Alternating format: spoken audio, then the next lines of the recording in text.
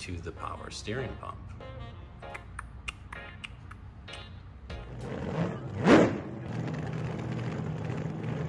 What is up guys and welcome back to another video here at the Drop Clutch Garage. Another very exciting video planned for you guys. Um, it is time to install the power steering conversion. All right guys, I'm just gonna take a few moments and just go over all the parts that the kit comes with. Um, this is um, Borgeson's power steering conversion kit. It'll work for both your manual steering cars as well as your cars that came with power steering. Um, it's much more budget friendly than uh, a typical rack and pinion setup um, for practically the same driving experience. Um, this is gonna be much better handling than um, the original style power steering, which came with the um, power ram. Um, so this eliminates that completely uh, and gets rid of that leaky power ram and the binding that you may feel sometimes with that original power steering system. Uh, so let me go ahead and take you through those parts. All right guys, so this is the gearbox that comes with the Borgeson kit. As you can see, we have two power steering lines right here. Uh, this is a Saginaw style pump. Um, so this is where you get your power assist from. You don't have the added power ram that you would in the original style power steering systems. So this is a, a much more simple setup. And what's really nice about this kit is you actually use um, your factory pitman arm that came with the manual steer cars uh, as well as the same drag links and uh, tie rod ends as well. So you'll use all the steering linkage that you would for a regular manual steer car. This is the power steering pump. It comes with all hardware and the bracket already installed. Here we have a, a supplied rag joint, uh, which the original steering setup does not have. Um, so because it uses this, we do have to make some clearance and actually cut the steering column um, not quite sure yet how much we have to cut off the bottom, but we do have to cut some off the bottom of the steering column, which is really the only major modification you have to make uh, to install this system. Uh, this will uh, bolt onto the firewall. This is what the steering column goes through. And then we have our power steering lines. What's nice about this system, we only have two lines, both going to the Saginaw pump, to the power steering pump. And that's really all, guys. That's all that's this kit has uh, that's needed. So I think I'm gonna get started with um, mounting up the pump and seeing which way um, I will have to configure it for my setup here. Uh, we'll then go ahead and bolt in the Saginaw gearbox. I do still have to remove um, the Pitman arm from my old gearbox. So I'll go ahead and take care of that as well and get that all cleaned up uh, so it's ready to install. All right, guys, let's get after it. All right guys, so prior to disassembly, it's really important to get a measurement before you take anything apart. Um, once you take off the steering wheel, you're gonna wanna measure the distance from the end of the steering bell here to the top of the shaft. Because we are gonna have to modify the column, we are gonna have to cut off at the bottom, and that's how we're gonna get that measurement. So go ahead and take your straight edge, just like this, and then measure from the straight edge to the bell. Uh, as you can see, mine is already disassembled. Um, it has been apart before I even got this kit. So I'm gonna have to sneak up on that measurement. Um, but if you haven't taken yours apart yet, definitely grab this measurement. It'll save you a lot of time. So basically it looks something like that. And you wanna grab that exact measurement. All right guys, now once we have that measurement, you're clear to disassemble everything and reinstall all the new components. And what we'll do with that measurement is once we have all the new components installed, is we'll transfer it onto the new steering shaft and we'll put a little mark. Put a little mark from whatever that distance was from the top of the shaft to the bell of the column. Guys, then we're gonna take our tape measure and we're gonna measure from the rag joint right here all the way to the mark that we just created. That's the measurement that we need. That's gonna be the total length of our column. All right guys, so we'll measure from the top of the column down to 28 and a half. We will make a mark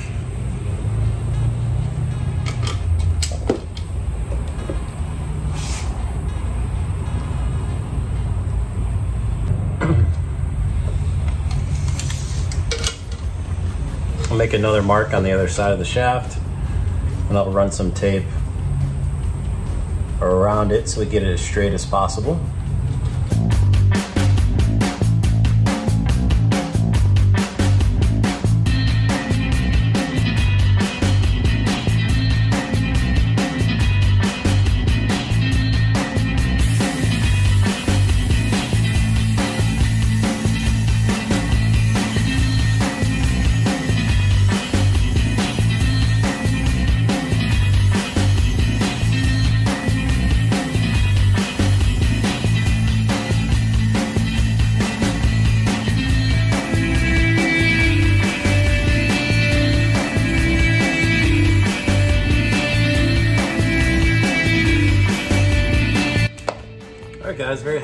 Cut. Looks nice and straight. Uh, if you do have access to a chop saw, obviously that would make it much easier and guarantee a perfect straight cut.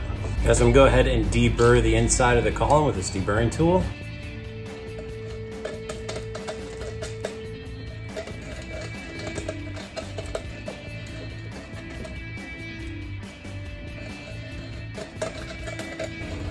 If you don't have one of these burr deburring tools, definitely recommend it. Um, especially when you, if you're drilling a lot of holes, doing a lot of body work, anything, any type of metal fabrication where you're drilling holes, this comes in handy greatly. Thank you to J-Rock for this one. Um, I'll go ahead and leave a link in the description below of one similar to this or this exact one if I can find it for you. All right guys, last thing we have to do is the kit comes with a bushing for the end of the column. This guy right here, it's gonna fit right in. And then they come with this little screw uh, so we're gonna drill a little hole right through there and the screws are gonna secure it in place. Go ahead and use the automatic punch.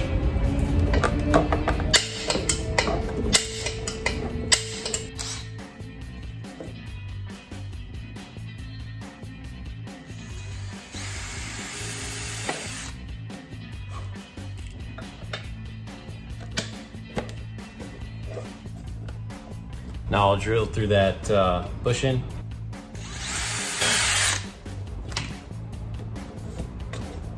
and we'll secure it with the screw.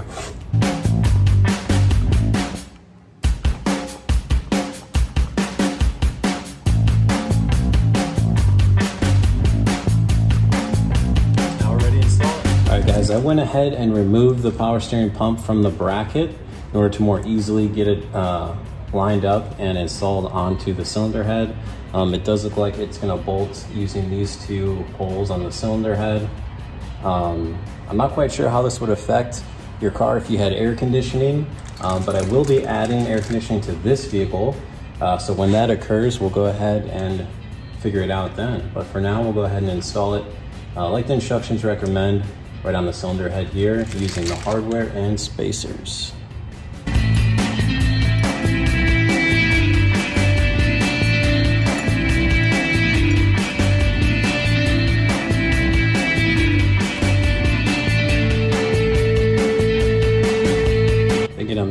These extra two spacers in there. Um, I'm trying to get it aligned with the second groove on the crank pulley. Let me take a look at that real quick, guys. So it does require at least a dual sheave crank pulley as well as dual sheave um, water pump fan pulley. I do have a triple here because I'm setting up for the air conditioning kit. Uh, the power steering is gonna run on this middle groove because on the, the first groove I have the alternator and that'll come up around and go around the water pump. So let's go ahead and add these spacers and see if we get aligned to that middle pulley. All right guys, so I have the pump mounted. I did have to add lock washers to these bolts here. It didn't come with any, it just came with flat washers. The bolts were too long and these spacers were too short so it wouldn't get tight. Uh, so I went ahead and added lock washers to take up that extra space and now it's tight and good. It now lines up with the second groove of the uh, crank pulley here. Okay guys, let's get on to installing that gearbox. All right guys, so before we go ahead and install the steering gearbox into the car, uh, we have to prep these splines to receive the rag joints. Uh, what we have to do is make sure it's fully seated and then we'll take out the set screw. This one right here actually. We'll take out this set screw, make a little mark, and what we have to do is create a seat for this set screw. So we'll basically take a little file, and just make a little flat spot in the splines right there. So that way when we tighten down this set screw, it's a nice perfect seat uh, for it to rest on and it won't uh, move, especially after we tighten down that jam nut. Uh, so let's get started doing that. All right guys, so as you can see, I took a file, took just a little bit off where that set screw is. Um, it's very important to follow the instructions because a lot of people may think this groove right here is for that set screw, um, but it specifically says in the instructions that it is not, and that you must fully seat this rag joint all the way in until it stops. All right, what I'm gonna do now is I'm gonna get this installed, put in the set screw in the jam nut, and hope there's uh, enough room to fit in the box with the rag joint on. Uh, just make it a little bit easier. Uh, so let's go ahead and give that a whirl.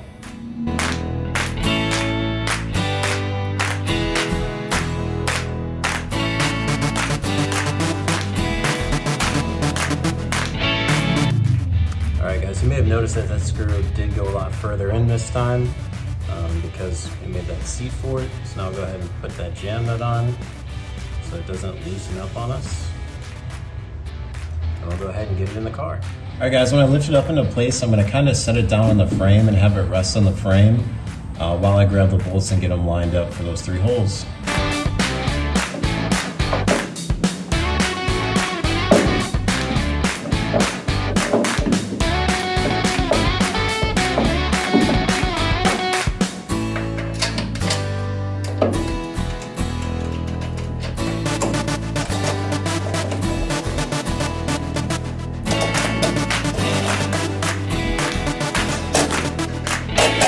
Alrighty guys, so next we'll go ahead and install those lines. Uh, we have a return line, the one that doesn't have um, the fitting on one of the ends, the pressure fittings. Uh, this will go into the back of the power steering unit with a hose clamp. And then the pressure line, of course, has fittings on both ends of it.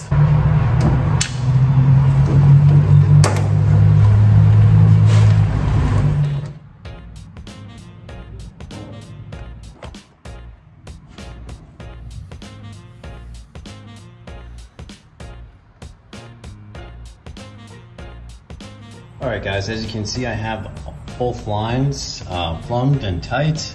Uh, originally, I wanted to route them kind of below the manifolds and kind of keep them tucked out of the way. Um, however, they ended up being way too close to the manifolds.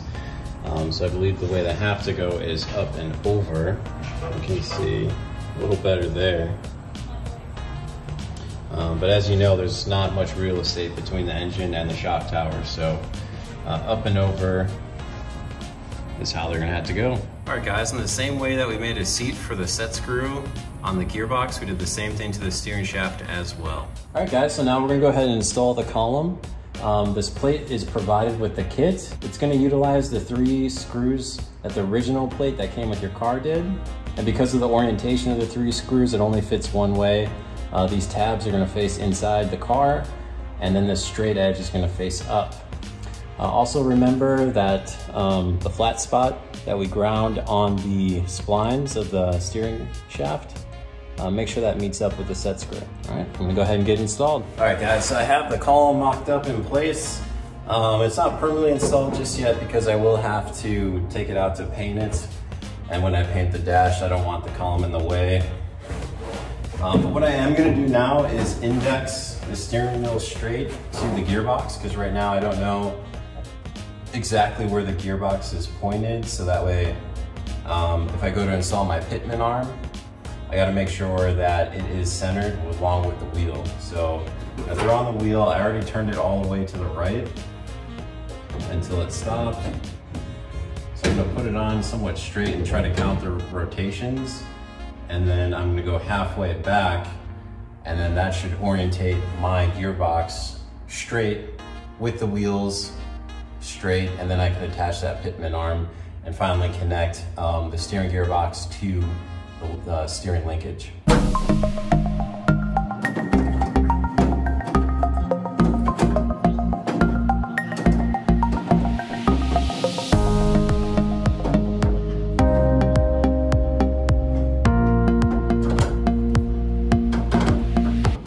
All right guys, now that we have our steering wheel indexed with our gearbox properly, we'll go ahead and install the pitman arm, connecting the steering box to the steering linkage.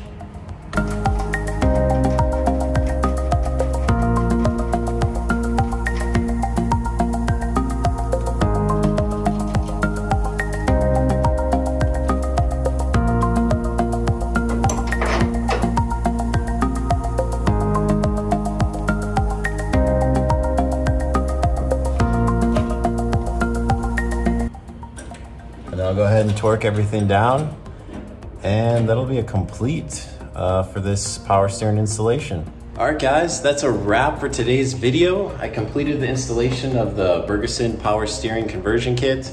Uh, the only thing I'm actually waiting for is I had to order the um, belt separately. It's not including the kit. Uh, so I put an order on for the belt and that will be a wrap for that. All right guys, thank you so much for watching. I really appreciate it, but that's gonna be a wrap. I'll see you next time. You take care.